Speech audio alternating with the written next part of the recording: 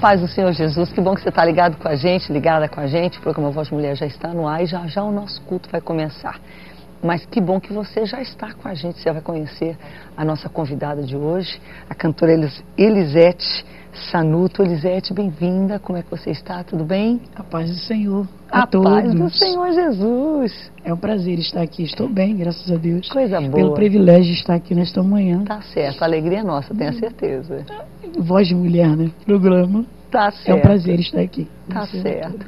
Bem, ela vai cantar, louvar o Senhor e, e, já já a gente vai conhecer, inclusive, melhor o testemunho dela. Mas eu quero fazer agradecimentos, dois agradecimentos, na verdade são três. O primeiro é aos nossos semeadores, cada pessoa que contribui para que a Boas Novas possa estar aqui. São 22 anos de história em que grande parte daquilo que sustenta a Boas Novas é a cooperação, é a oferta missionária dos nossos telespectadores, das pessoas que são abençoadas pela Boas Novas, que entendem que para ela prosseguir, ela precisa deste companheirismo, ela precisa dessa ajuda. E nós agradecemos a fidelidade. Os tempos são difíceis, eu sei. Às vezes é uma crise, né? As coisas vão, vão ficando de lado, mas nós oramos realmente que o Senhor te abençoe e que você não deixe de lado a Boas Novas, não, para que ela também não esteja em risco e possa continuar trazendo a palavra. Eu quero também agradecer a Nayane Câmara e a Camila Barros, que têm estado comigo aqui no programa, co-apresentando o programa, de forma que você possa sempre ter um programa inédito. Legal, né? Mulheres de Deus trabalhando. Aliás, o programa programa Voz, Elisete, e cada um que está com a gente, se destina justamente a encorajar as mulheres a usar e a desenvolver os dons. Notou que eu usei as duas palavras, né? Porque para desenvolver tem que usar. Às vezes a gente tem medo. Eu achei lindo que você colocou aqui no seu testemunho que você começou tarde. Muitas pessoas, por não ter uma oportunidade cedo, elas desistem, elas acham, ah, não tem mais jeito não. Uhum. Mas você, você pelo jeito prosseguiu. E, e, tipo assim, você sente que Deus fez algo de especial no sentido de que a sua voz até melhorou, desenvolveu. Como é que é isso? Bom, é, eu realmente achava que, como muitas pessoas acham, que o ministério tem que começar cedo. Uhum. Então eu achava, meu Deus, tinha Deus tinha me feito uma promessa e eu achei assim, mas eu já estou com quase vinte e tantos anos, como é que isso vai acontecer? E quando Deus fez a promessa, já foi realmente. Ah, deve ter mulheres dizendo, eu estou com 40. É, eu falei, gravar um CD muito tarde, velha. Olha o pensamento da gente. E aí, mas tudo acontece com o tempo de Deus. Uhum. Tudo tem seu tempo. Né? E aí, quando eu fiz 25 anos, eu tive a minha segunda filha. Que daqui a pouco a gente fala sobre elas. E Deus já tinha me prometido. E eu comecei a adorar o Senhor, só que eu era muito desafinada e as pessoas não gostavam de ouvir. Aí eu falei assim: mas como é que Deus vai me usar desse jeito? e aí o tempo foi passando e fui melhorando e fui ensaiando e Deus me dando direção do que fazer.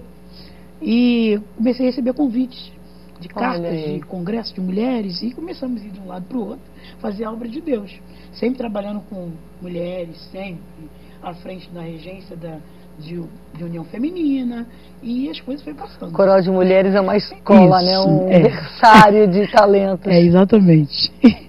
É o que foi, foi passando o tempo e fomos se aprimorando, né? Uhum. E Deus foi abençoando. E quando chegou, mais ou menos, deve ter uns sete anos, mais ou menos, que nós gravamos o primeiro CD tem cinco anos e agora nós estamos lançando Tempo de Honra. Olha aqui, gente. Está aqui o Tempo de Honra, o mais novo bebê, que ela tem duas filhas, não é? É, tem duas filhas. E agora essa aqui, é, é, ela já tem um outro CD.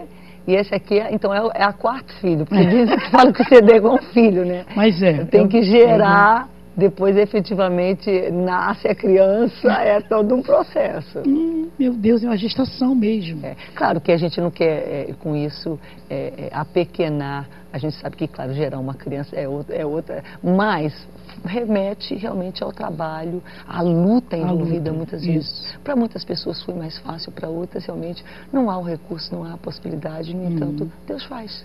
Deus faz, com certeza. Faz. E o meu primeiro CD foi com muita dificuldade, né? Eu fiz só, não tinha ninguém para me ajudar. Hoje eu tenho a gravadora MS Music, que foi quem patrocinou esse CD, uhum. né? E para glória de Deus, porque o custo foi bem alto. Você vê que tem Anderson Freire, tem vários compositores Verdade. de nomes aí na mídia, pessoas que já têm tempo.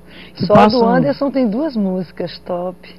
Aí tem Anderson Pontes. A Freire, tem razão. É uma do, do Anderson Freire. Isso, Anderson José. Pontes, Mag, é, Cláudio Magno. Que legal. Só para encerrar esse momento, que o tempo passa, vai voando, Elisete. Como uhum. é que você vê aí, você que anda pelo Brasil, está à frente de trabalho de mulheres, qual está sendo a atitude, você vê a, a, disposição de mulheres em termos de se envolver e, e estar à disposição de Deus para fazer a obra? Olha, eu tenho visto ainda muitas mulheres temerosas. Uhum. Mulheres que acham que não tem um lugar para fazer a obra de Deus. Mas cada um de nós temos um chamado. Temos. E Deus nos escolheu, cada um de nós, eu costumo dizer, no meio das mulheres lá, que nós somos vasos e cada um para algo diferente. E há um diferencial em cada um de nós. E Deus vai dar para cada um o tempo certo de se fazer algo para Ele. Eu costumo dizer que as mulheres têm um, têm um chamado que muitas não, não dá muito valor, o de abraçar.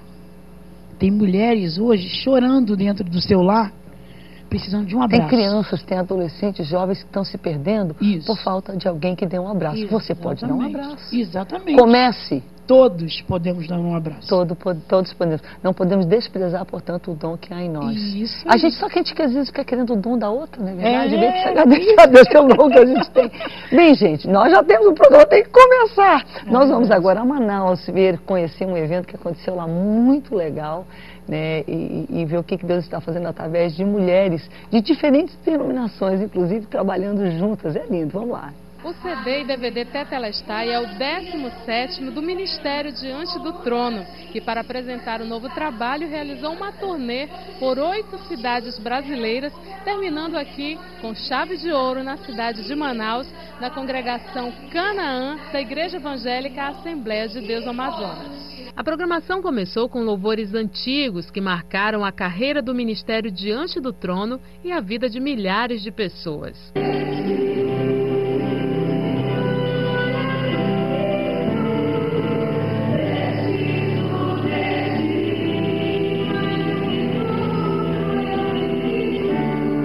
Seguida, os pastores Ana Paula Valadão e Gustavo Bessa testemunharam sobre a experiência da primeira gravação internacional do Ministério Diante do Trono e fizeram comentários sobre cada música do novo CD. O povo de Deus que compareceu, um grande público de várias denominações, participou com muita alegria e interagiu o tempo todo durante a exibição do DVD, cantando, dançando e adorando a Deus. Ana Paula Valadão falou sobre o título do CD e bem-humorada falou do novo nome pentecostal do trabalho, Retetelestai pessoal já está brincando que é retetelestai.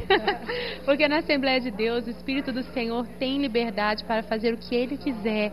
Então nós vamos chorar na presença do Senhor, nós vamos nos emocionar diante dessas canções, desses lugares maravilhosos onde foi a gravação ali em Jerusalém. E vamos também celebrar intensamente, vamos saltar na presença do Senhor, porque Ele merece a nossa adoração com todas as nossas forças. A líder do Diante do Trono destacou um dos vários momentos momentos marcantes da gravação em Israel. No DVD, né, nós temos um pastor judeu messiânico que ora em hebraico pelo seu povo, um pastor árabe cristão que ora em árabe pelo seu povo e um ora pelo outro, porque Jesus é o príncipe da paz. A primeira-dama da IEADAN também participou desse momento profético em Jerusalém. tive o privilégio e a honra né, de poder participar é, algo, uma surpresa do Senhor em nossas vidas, de podermos cooperar na realidade é, com o, o, Ministério Diante do Trono, com a pastora Ana Paula, podemos estar ali juntas em unidade com o coração do Senhor, profetizando sobre a nação de Israel, profetizando as bênçãos, a vitória, a, a salvação sobre aquela nação, a voz é, do Senhor ecoando através da vida deles, através de nossas vidas ali na cooperação. Então, uma honra muito grande e certamente que hoje nós podemos sentar e ver esse fruto que o Senhor nos deu. O CD Tetelestai já está disponível nas melhores lojas do Brasil e também no site do Diante do Trono. E para quem não participou da gravação em Israel, a nova oportunidade já está aberta através da Caravana 2017. Nós temos chamado de caravana da unidade, né, pastora Ana Lúcia? Porque o Senhor nos trouxe várias direções. Quem puder, leia no site diante do trono.com os pontos do, dos propósitos que nós temos a alcançar em 2017. E um deles é a unidade do corpo de Cristo. Nós não vamos sozinhos como diante do trono, como igreja da Lagoinha lá de Belo Horizonte, mas várias igrejas do Brasil estão indo levando seu ônibus e nós vamos estar juntos ali. Aqui com a IADAM, né, nós teremos dois ônibus e as tribos de Israel darão nomes aos ônibus. E os ônibus aqui da Igreja Assembleia de Deus serão os ônibus de Manassés e de Efraim. As duas Anas aproveitaram para deixar uma palavra carinhosa a todas as telespectadoras do programa Voz Mulher. Nós queremos então mandar um abraço para todos os telespectadores do Voz Mulher. Voz Mulher, Deus abençoe vocês. Quero deixar meu abraço para todos os espectadores do Voz Mulher, que nós, mulheres de Deus, façamos a diferença nessa geração. A Bíblia diz que nós brilhamos como estrelas no meio de um mundo corrompido, escuro. Então, que você brilhe à luz de Jesus como esposa, como mãe, como filha, como noiva, sendo essa mulher de Deus que vai na contramão desse mundo. Que Deus te dê uma voz, mulher uma voz profética, uma voz de autoridade para ser testemunha nesse mundo tão carente. Deus abençoe Voz Mulher. Parabéns ao pessoal de Manaus, a pastora Ana Lúcia Câmara, por esse evento tão bonito.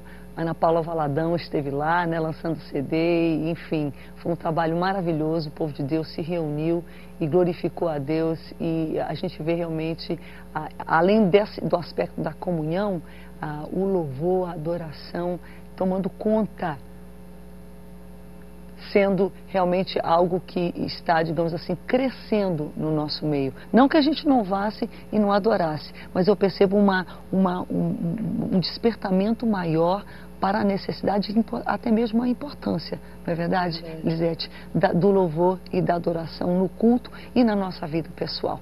O que, é que você precisa? Vamos agora falar com Deus? O culto já está começando. Pai, estamos na tua presença queremos te apresentar esse momento de culto e adoração a Ti. Recebe, Senhor, a nossa adoração. Pai, nós sabemos que quando nós te adoramos, a Tua presença é real. E nós te pedimos agora, enquanto ministramos a Tua palavra, cantando, pregando, compartilhando testemunhos, Senhor, que a Tua presença seja real na vida de cada pessoa, Pai. Um culto do tamanho do Brasil, Senhor. Onde quer que a Boas Novas esteja sendo assistida agora, Pai. Nós suplicamos a Tua presença, o Teu toque, a salvação, a libertação, a cura, aquilo que nós não podemos fazer, Senhor. Mas quando nós adoramos a Ti, Tu fazes, Pai. E nós te suplicamos agora, em nome de Jesus, visita, liberta, cura, salva para honra e glória do teu nome. E nós te seremos gratos, gratas, em nome de Jesus. Amém. O que, que você vai cantar, minha amiga? Diz pra gente. Cego de Jericó. Por que, que você escolheu esse não? Esse é, esse é antigo, é favoritão, é né? antigo, né? antigaço, mas eu tenho um carinho imenso por este louvor.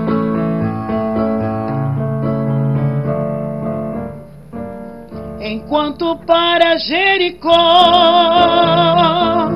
o bom Jesus passava, o cego filho de Jacó, sem se cansar, clamava: Jesus, ó filho de Davi,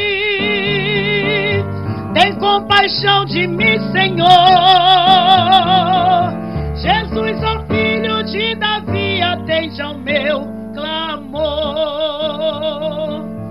A multidão vendo clamar, tu lhe dizia,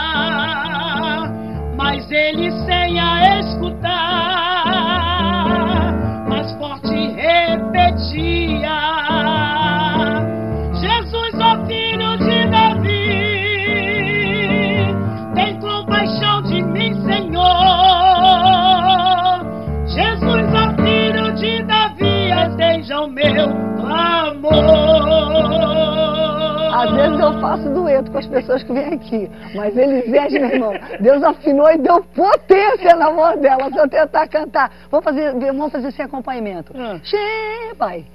Jesus, o filho de Davi, tem compaixão de mim, Senhor. Jesus, o filho de Davi, atende ao meu clamor. Eu tenho que juntar toda a minha energia e tocar. Que coisa linda. Esse, esse louvor, ele descreve um dos milagres de Jesus. Chega para cá, minha amiga, que já já você vai continuar a ministrar depois desse momento tão gostoso, abrindo o baú realmente, com um hino muito antigo, mas muito lindo. E ele fala de como nós podemos nos aproximar de Deus, clamando, chamando realmente por misericórdia para Ele.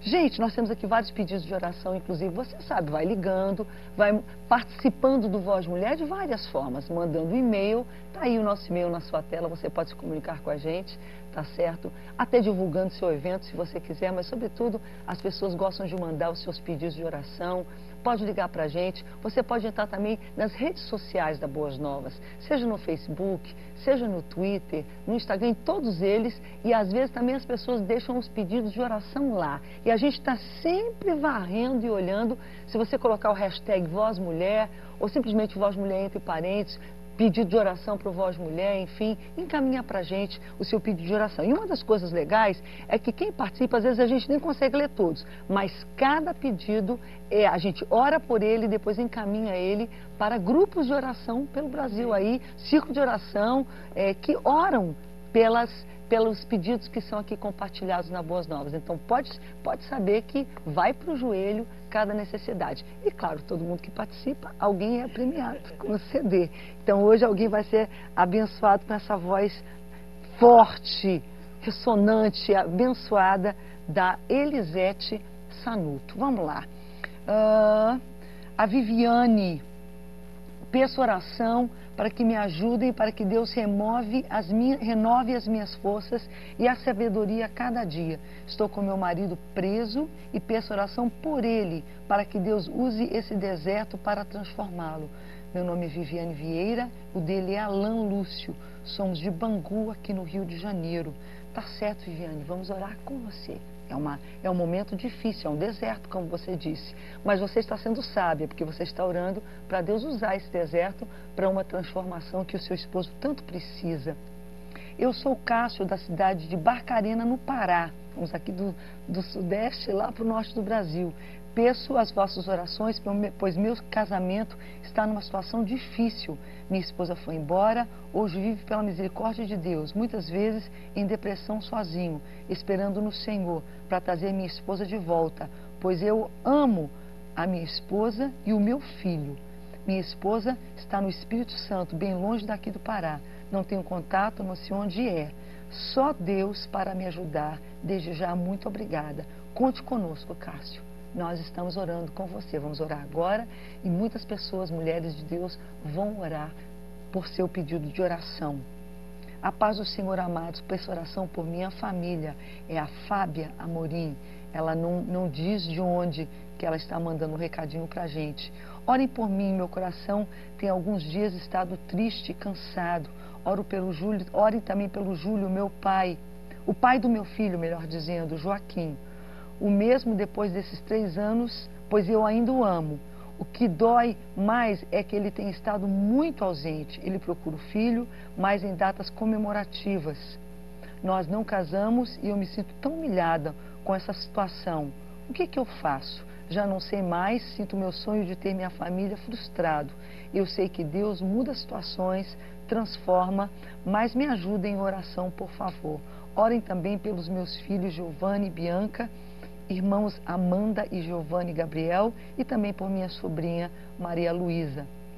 Narai, nós vamos orar contigo, por você. São vários pedidos de oração que você enumerou aqui, mas o principal a gente vê realmente é a questão da distância do pai do seu filho, não é verdade? Você sonha em ter a, a família. E aqui a gente percebe, de repente, que esse pedido de oração, ele pode também falar com alguém que está aí tentando se decidir se envolve ou não com alguém, vá com cautela, porque a gente vê que a gente fica realmente descoberta. Já não é tão fácil muitas vezes quando você efetivamente está casado com alguém. E o que dizer então quando não está, quando não há um, um compromisso formal, não é verdade? E depois que tudo passa, né, que as coisas se encaminham às vezes, a realidade é muito, muito dura. E nós vamos orar sim com você, Narai. Eu vou ministrar a palavra já já e ao final eu vou estar orando. Antes da gente prosseguir, no entanto, enquanto você pode continuar a enviar os seus pedidos, que nós vamos orar por cada um, tá certo? Enquanto é, a gente, antes, no entanto, da Elisete ministrar o louvor, deixa eu só fazer um convite para vocês. É, vai haver agora em setembro o Congresso de Mulheres da Assembleia de Deus em Manaus, Amazonas. Vai ser nos dias 10, 11 e 12 de setembro. Aí está o cartaz eu vou poder participar, a pastora Ana Lúcia, a Jaqueline Lodos, que é lá da, da, da Igreja Batista da Lagoinha em Belo Horizonte, a Ana Gonçalves, Ana Eunice Gonçalves aqui do Rio de Janeiro, a Luci Vaz, que é de Curitiba, a Raquel Veras, que é de Goiânia, e a Arielle Bonatti, que acho que é de São Paulo, São Paulo Rio, acho que São Paulo. Enfim, um grupo maravilhoso de mulheres, sem falar daquelas milhares de mulheres que eu amo tanto de Manaus que vão estar lá. Como eu amo vocês. E vai ser muito bom estarmos juntas. E o, o convite está estendido para vocês de todo o Brasil. Então reserve, save the date, salve a data, guarde a data aí, 10, 11 e 12 de setembro, cura uma promoção e se mande para Manaus, tá certo? Participar desse lindo congresso de mulheres que certamente será uma bênção. Eu espero que seja uma bênção para minha vida. Se Deus quiser, estarei lá também e como vai ser bom participar. Não pare diante das afrontas a honra vai chegar no tempo certo. Não pare diante dos seus inimigos. O Deus que dá vitória está contigo. Levante em nome de Jesus e vá em frente. Tem uma porta aberta para você passar. Não pare diante das ameaças.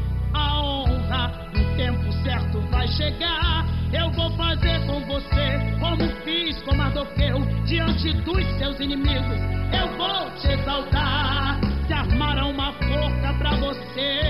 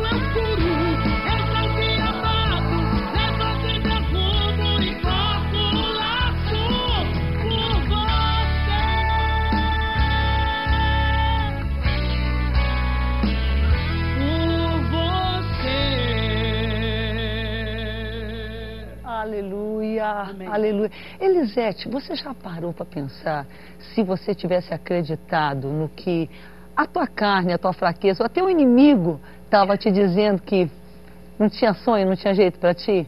Esse momento, não só esse, mas as centenas de vezes que Deus já te usou com tanta autoridade, unção, da forma que Ele está usando aqui.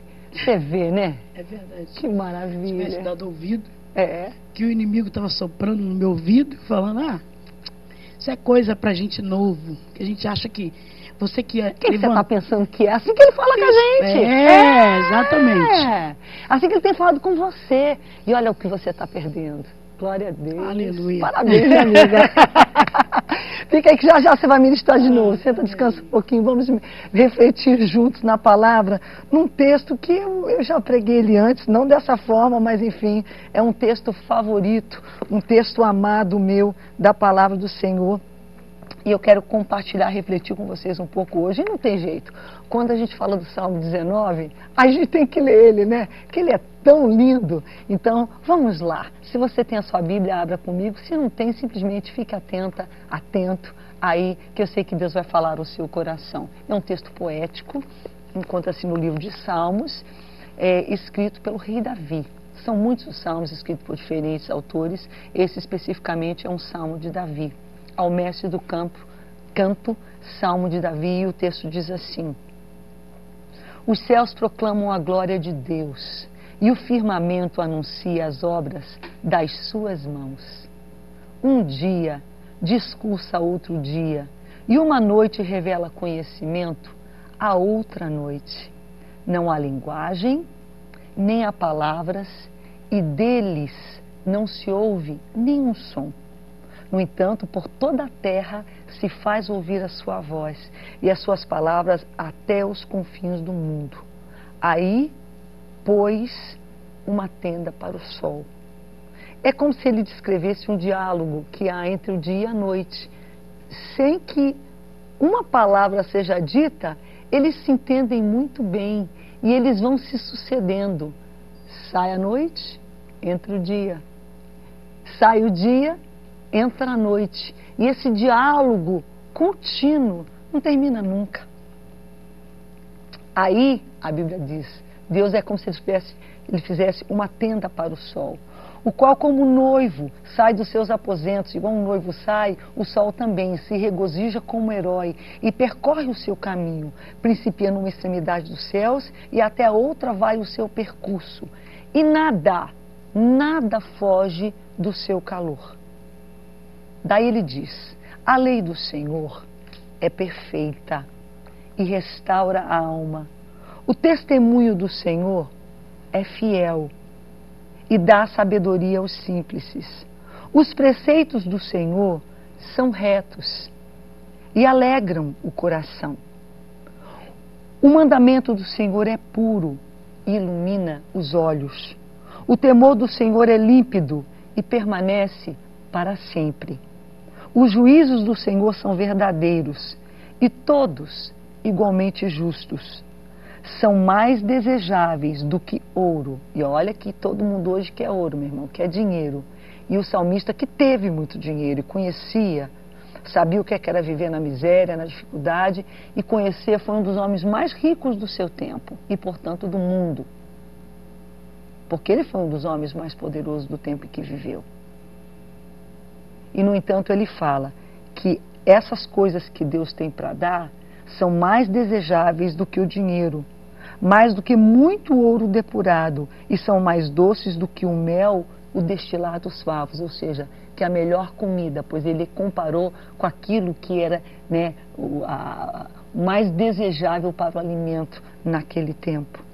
Além disso, por ele se admoesta o teu servo, ou seja, o teu servo, através dessas coisas, aprende que deve guardar, que em guardar os teus mandamentos, a grande recompensa. Em guardar os mandamentos de Deus, o salmista está dizendo, a grande recompensa. Quem há que possa discernir? Ele pergunta. Interessante que ele está lidando com algumas coisas que parecem ser desassociadas da outra, mas não são. Primeiro ele fala da natureza, por que ele fala da natureza? É porque ele fala que mesmo quem não conhece Deus, não foi criado necessariamente na igreja, não tem o conhecimento, não tem muito contato com a Bíblia, mas ele fala que Deus se revela através da grandeza da sua criação. E a gente se assusta hoje de ver pessoas adorando a criação em vez de adorar o Criador. Pessoas que, ah, eu, quando eu levanto de manhã, eu olho, eu olho para o sol e faço as minhas orações. Não olhe para o sol, olhe para aquele que fez o sol. Porque o sol, o calor, reflete, proclama. Davi está falando, ninguém pode se desculpar. É, é, coisa demais, é beleza demais, é perfeição demais, é, é, é equilíbrio. Um dia passa, vem outra noite, depois outro dia, o mar só chega até ali, enfim. Todas essas coisas, elas proclamam a glória de Deus. Dele fala um pouquinho sobre o que é ter a glória de Deus, como alegra a alma, como cuida do coração, como os mandamentos do Senhor são bons, como faz bem obedecer e atentar para aquilo que o Senhor ordena. Em guardar os seus mandamentos, a grande recompensa. Em tê-los, em colocá-los em prática, é mais valioso do que ter muito dinheiro, ter muito ouro. Mas daí ele vai, ele muda um pouquinho a atenção do que ele está dizendo, mas é tudo interligado. Por quê? Porque ele começa então, a, ele parte do aspecto daquilo, primeiro da natureza, depois da consciência que a gente tem de Deus, mas ele vai então para aquela consciência que nós temos de nós mesmos. E enquanto nós, na verdade, não tivermos essa consciência, nós não vamos procurar Deus. Porque enquanto a gente não olha para si, enquanto a gente não é verdadeiro, é, é, sincero. Enquanto a gente não consegue, ele fala assim: quem há que possa discernir as suas próprias faltas? É difícil. A gente vê os erros de todo mundo. A gente rapidinho. Olha, o que, que te perturba no teu marido? O que, que te perturba na tua esposa? O que, que você não gosta dos seus filhos? O que, que você não gosta do seu pai, na tua mãe, nas pessoas com quem você trabalha? Olha, quem? Fulano?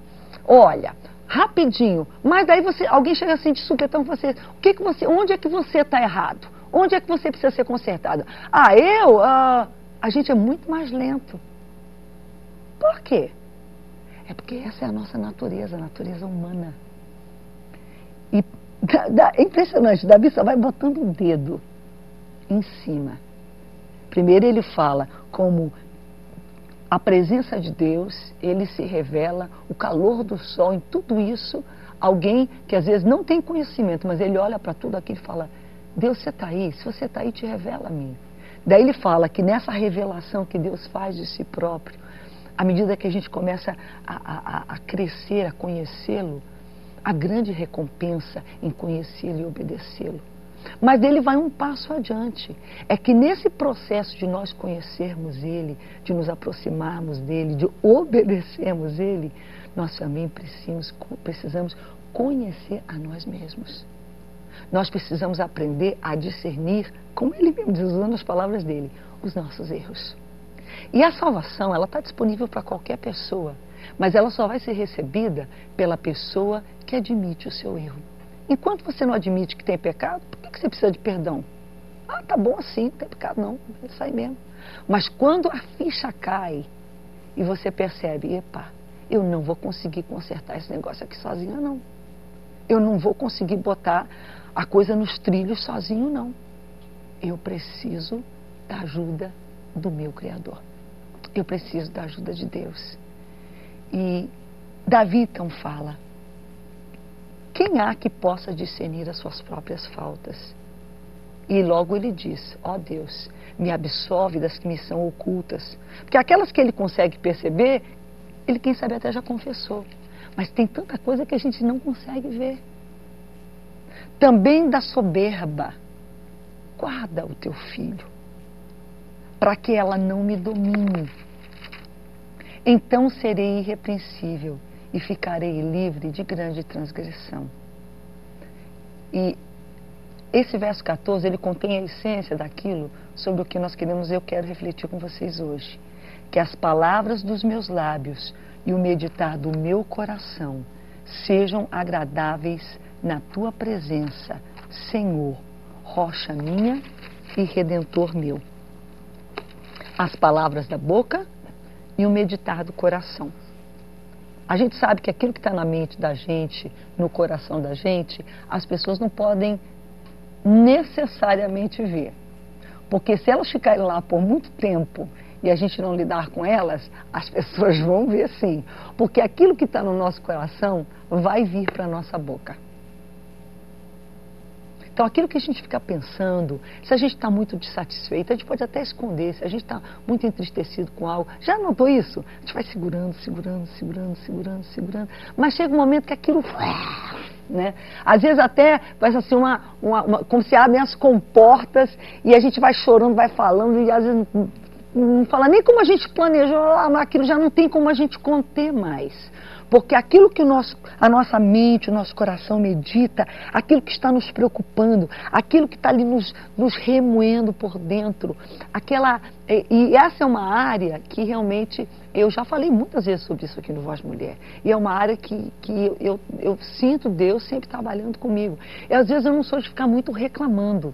Né? Ah, não, vão ver que eu sou realmente uma chata de galocha, então eu me controlo, eu não reclamo, eu não murmuro.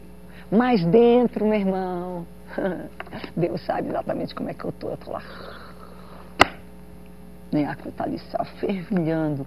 Mas pode ter certeza que se eu não lidar com aquilo, se eu não trouxer aquilo para Deus, se eu não, se eu não é, fazer aquilo que o salmista falou, se eu não voltar e admitir, dizer, Deus não está certo esse negócio não. Porque quando a gente está chateado, a gente geralmente atribui a outra pessoa. É claro que outras pessoas vão ter um, o seu papel, né? Cada um no, no nosso viver, as pessoas às vezes realmente falam coisas que são equivocadas e, e, e cometem também é, erros, enfim, contra nós. Mas se a gente não se vê como parte daquilo e simplesmente atribuir tudo às, às outras pessoas, nós vamos ser vítimas da nossa própria vida. E nós não fomos feitos para isso, não. Enquanto a gente não se torna um agente, um protagonista, a gente fala, não, não, não, pera lá. Enquanto eu não digo, é verdade, essa pessoa fez isso aqui comigo, mas eu estou guardando rancor no meu coração, eu não estou perdoando, eu estou só remoendo, remoendo, eu estou aqui cheia de raiva, cheia de ira, cheia de amargura, e às vezes aquela pessoa nem lembra mais daquilo, e você está lá pessoas doentes, pessoas com gastrite, pessoas com enxaqueca, com dor de cabeça, com reumatismo, com câncer. Por causa de algo que aconteceu, porque algo aconteceu, mas aquilo que o salmista está dizendo aqui, quem há que possa discernir as suas próprias faltas? Não, mas a falta foi da pessoa. Mas nós nos tornamos faltosos a partir do momento que a gente pega aquilo, guarda, em vez de trazer para Deus e fala, Senhor, eu quero que as palavras da minha boca e o meditar do meu coração, aquilo que as pessoas não estão vendo, que ninguém está vendo. Eu quero estar certo contigo. Você fala assim, Rebeca, por que, que eu tenho que ser tão certinha? E aí, o que, que tem? Eu, deixa eu, é. Deixa eu, né? Eu, eu posso. É verdade. Você pode agir como você quer, você pode pensar como você quer. Mas esse texto está te ensinando, está me ensinando, está nos ensinando que a nossa vida pode e será, pode ser e será melhor, será diferente se nós não guardarmos, se nós admitirmos, se nós trouxermos. Eu vou enumerar aqui alguns exemplos que vão ajudar você a entender um pouco melhor, quem sabe, essa questão de como é importante a gente estar tá dizendo, Senhor, mas com transparência, não é da boca para fora, não. Que as palavras da minha boca e o meditar do meu coração sejam agradáveis a Ti. Por quê? Primeiro, vou estar agradando Ele. Dito no texto, mas é auto-explicado, não tem que explicar. Mas esse agradar ao Senhor, Ele vai fazer cumprir o que está escrito aqui nesses textos anteriores, que vão trazer o bem-estar, que vão trazer comunhão com Deus, mas não é apenas comunhão com Deus, vão trazer paz para a nossa alma, bem-estar para o nosso ser, harmonia nos nossos relacionamentos com a pessoa. Tem um relacionamento vertical com Deus, mas tem um horizontal. Ele diz assim: a lei do Senhor é perfeita e restaura a alma. Quantas pessoas com a alma ferida, destroçada, Pessoas cheias de ódio, de raiva. Você fala com ela, meu Deus do céu. Você, né, às vezes assim, tem Por quê? Porque está guardado, está tudo ali, o meditar do coração. Minha querida, que está escrito que a lei do Senhor, se Ele está dizendo para você na palavra, lê a palavra, não é lei no sentido, é você. Não, é a palavra. A palavra do Senhor é perfeita. Ela restaura a alma. Ela traz restauração, ela traz cura. Em vez de você cantar para baixo assim, com esse peso, fala, Senhor, que a tua palavra seja aplicada na minha vida, que eu perdoe, que eu entregue a ti. Se há alguma vingança, então eu entrego nas tuas mãos, tu cuide disso. Mas eu vou viver em paz. Eu quero ter uma alma curada, restaurada, livre. O testemunho do Senhor, aquilo que ele testifica, que fez, que faz, que fará, diz que é fiel. Ele é fiel. E a sabedoria, e ele dá sabedoria aos simples. Você vê que claro, como é bom estudar, como é bom ter diplomas na parede, mas não é isso que garante sabedoria. Conhecimento inteligente é uma, inteligência é uma coisa, sabedoria é outra. Deus dá sabedoria. E ele dá para quem pede, quem busca. Tanto que o simples, que não tem nenhum diploma na parede, muitas vezes é muito mais sábio do que uma pessoa com tantos títulos. Ele dá sabedoria aos simples. O caminho da sabedoria, gente, não é um caminho fácil. Geralmente ele é o caminho mais difícil. Quando acontece uma coisa difícil, alguém te afronta, alguém te diz alguma coisa, ou você passa por uma circunstância, algo que te diminui, que te faz. Muitas vezes a nossa tendência é soltar os cachorros, em bom português, pronto. Falar. Mas quanto mais eu amadureço, quanto mais eu tenho estado na presença do Senhor, Deus tem me dito, Rebeca, espera. Não sai, blá, espera. E é difícil esperar, porque você sente como se o seu, o seu direito está sendo violado. Eu tenho o direito de retrucar. Eu tenho o direito de dar a resposta que essa pessoa precisa ouvir. E a Bíblia diz: espera. E eu tenho aprendido que esse esperar é o caminho da sabedoria. E ele é o caminho mais difícil. Mas quando a gente percorre o caminho mais difícil primeiro, o depois será mais fácil. Porque, meu irmão, quando eu solto os cachorros de tudo que eu quero, depois para eu sair atrás catando, juntando os pedaços, é muito difícil. E às vezes eu simplesmente não consigo. Então, é mais fácil, é mais cômodo simplesmente dizer tudo. É mais difícil ser sábio, ser controlado, ser controlada. No entanto, aqui está dizendo que Deus dá sabedoria aos simples. E o caminho da sabedoria é o caminho que geralmente nos leva pelo caminho bom. Ele é mais difícil, mas o fim dele, o resultado dele é bom para nós. Enquanto que eu posso pelo caminho mais fácil, mas depois eu vou ter uma pedreira pela frente para ajeitar. Os preceitos do Senhor são retos e alegram o coração. O mandamento do Senhor é puro, ilumina os olhos. Eu quero alegria, eu quero luz. O temor do Senhor é límpido e permanece para sempre. Os juízos do Senhor são verdadeiros e todos igualmente justos. Recentemente eu tenho sido procurada por famílias assim, há, há, tempos sempre a gente na igreja está atendendo, é contínuo, né, atendendo pessoas, famílias. E às vezes tem muitas coisas diferentes que a gente atende, mas de vez em quando parece assim que uma situação ela se repete. E ultimamente, nessas últimas semanas, não, não creio que seja coincidência, enfim, não, mas eu tenho atendido uma situação que tem se repetido várias vezes. E com ela eu quero encerrar essa mensagem. Na verdade, eu vou deixá-la por último, eu vou enumerar é, três momentos da nossa vida que nós, como seres humanos, vivemos e não necessariamente de forma cronológica, embora que eu vá tratar aqui de forma cronológica. Eu vou começar. Essa não é a questão que eu estou tratando com as pessoas, mas eu vou começar ilustrando por ela. Eu vou começar pelos meus netos. Eu tenho quatro netos, né? São pequenos, é uma delícia, mas a criança é muito transparente. Ela é muito ela fala o que ela sente, ela não tem ainda os vetores, ela ainda não tem a sabedoria, o discernimento, né, do que pode, do que ela simplesmente pode dizer. Então, às vezes, por exemplo, a Ruth chega lá em casa e ela, sei lá, ela não está muito bem, ela está cansada, ou acordaram ela, está mal-humorada, ou ela está gripada, não está se sentindo muito bem, e ela entra lá e a gente vai falar com ela, não, ela não quer papo. Mas quer ver uma coisa interessante? É só dizer, olha, a vovó vai precisar sair. Não, eu quero a vovó. Quer dizer, ela estava me desprezando. É só eu sinalizar que eu vou sair, que ela já me quer. Às vezes a gente liga, faz um FaceTime com, com o Felipe e o Samuelzinho está do mesmo jeito, está lá meio mal-humorado. Oi, Samuelzinho. Não, ele não quer conversar.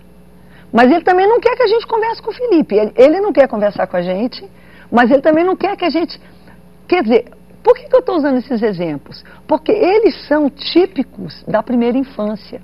Mas a gente prossegue na vida e a gente traz com a gente esse mesmo comportamento. A gente, é aquilo que Paulo fala da, da, da, do, do, do cristão que não amadurece que permanece como se fosse um bebê, que só quer continuar tomando leitinho na mamadeira, em vez de comer um alimento sólido.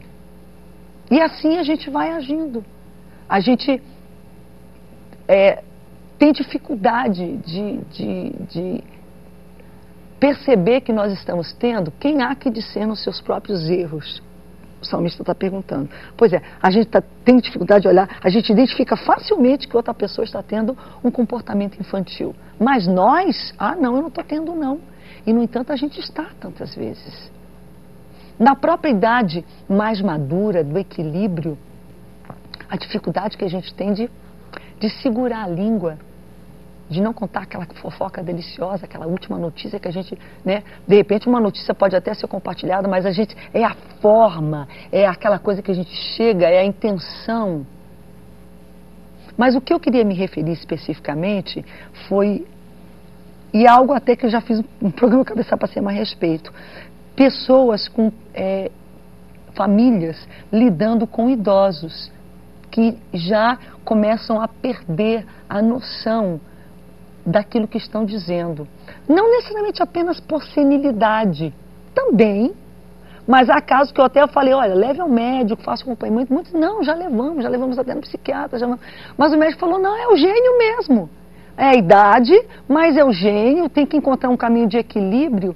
E essa palavra eu estou dizendo, claro, primeiro para tentar ajudar e consolar, e vamos lá, inclusive, pelas famílias que têm essas pessoas, que às vezes estão com um idoso, que era uma pessoa, às vezes, tratável, gentil, e agora é uma pessoa que simplesmente descasca, fala, mas desarruma mesmo com os filhos, com os netos, com as pessoas que ele ama, ou que ela ama, e que amam ela.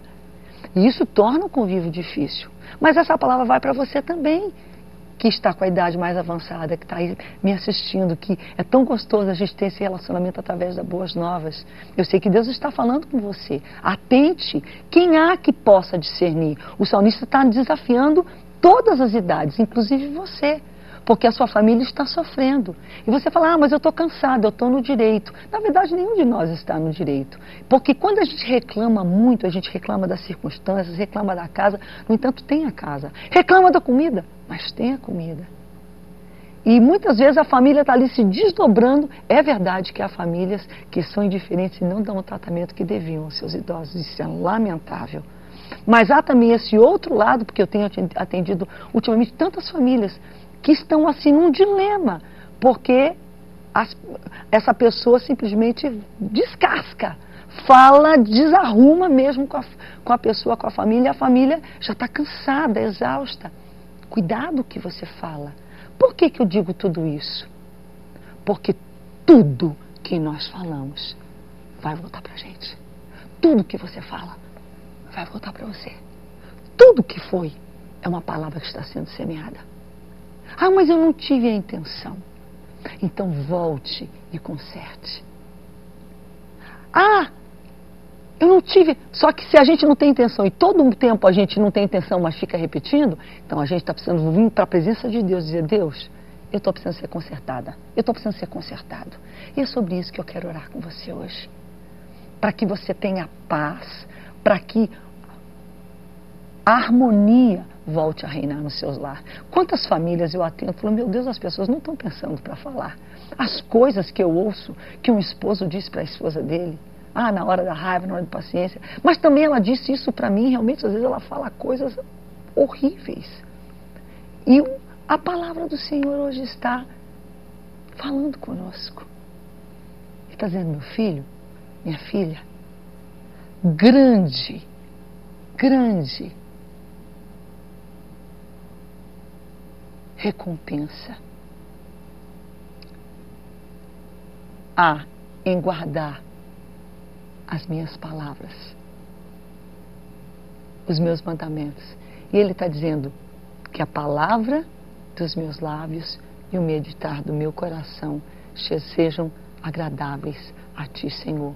O povo de Israel estava prestes a entrar, tinham saído do Egito, estava tudo caminhando muito bem para eles entrarem na terra prometida. Mas eles não entraram por causa da desobediência e da murmuração. Toda uma geração teve que se passar 40 anos. Você fala, nossa, mas que juízo duro, Deus foi injusto aí. Bem, eu não estava lá para saber exatamente o que eles fizeram, mas eu posso aprender a lição. E eu vejo a lição simplesmente naquilo que a gente vê no mundo que nos cerca. total falta de condição das pessoas se entenderem e se comunicarem. Mas sabe onde está a raiz do problema?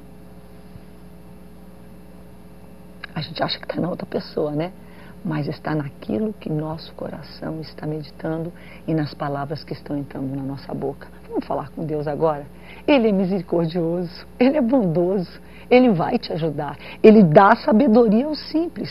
Então se humilhe, seja simples, fala: Deus, eu estou precisando de sabedoria. Eu estou estragando, eu estou botando a perder, eu não estou bem no trabalho, eu não estou bem em casa.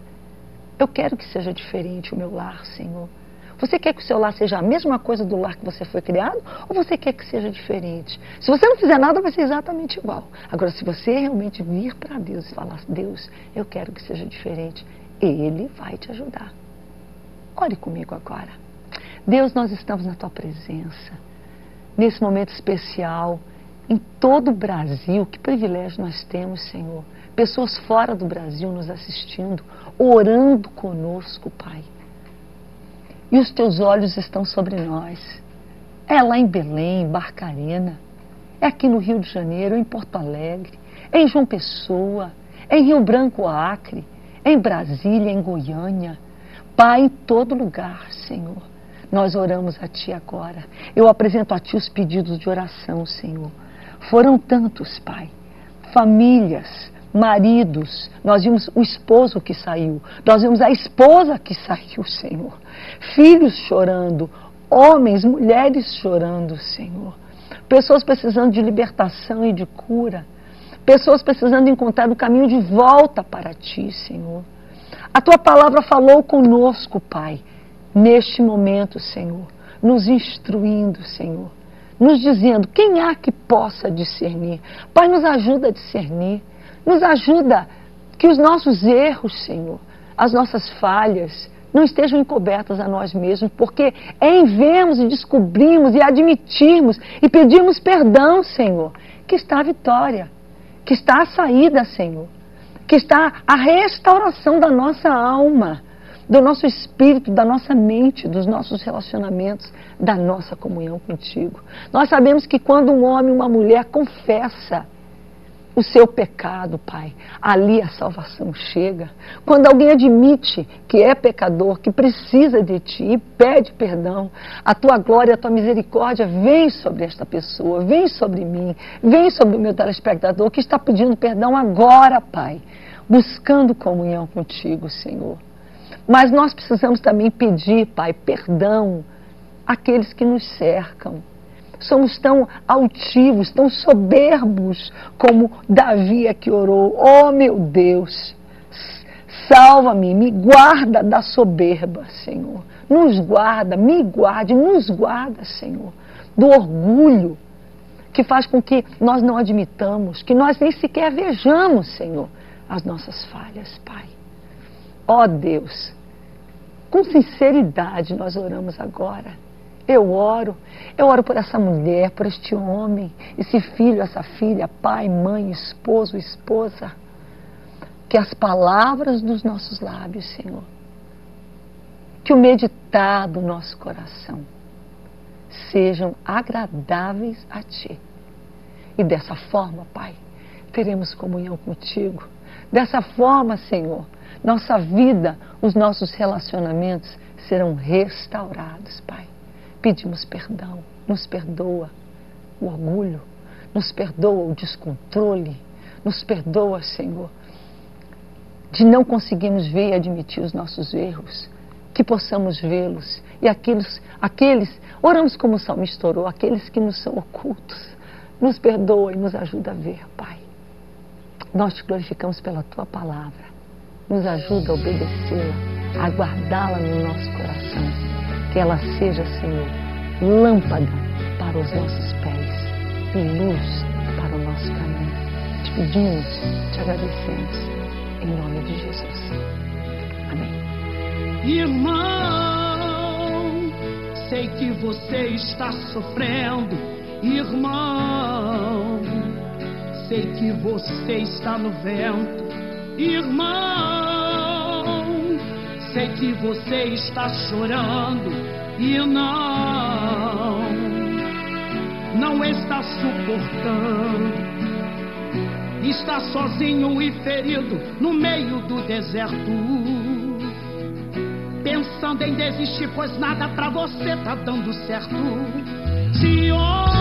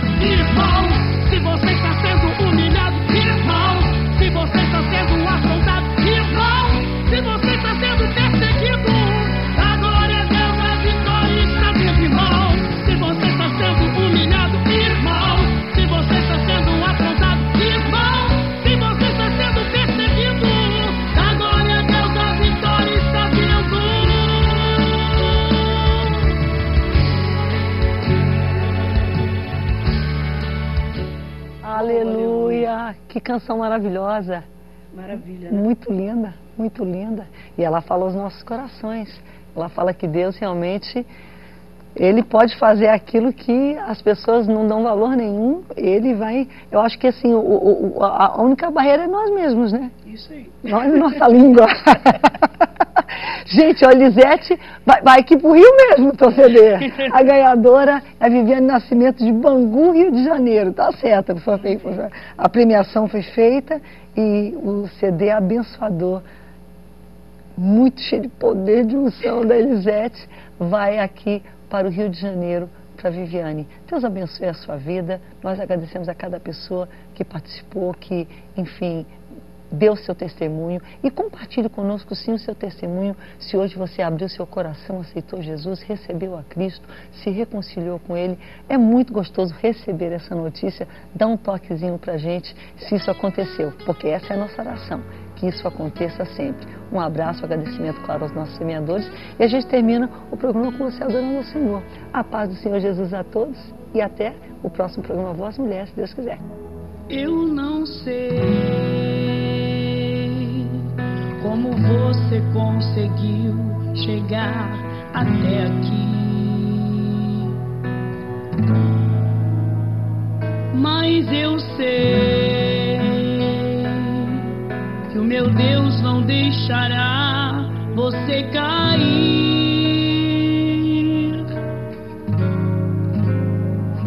Pode a morte te cercar, a esperança.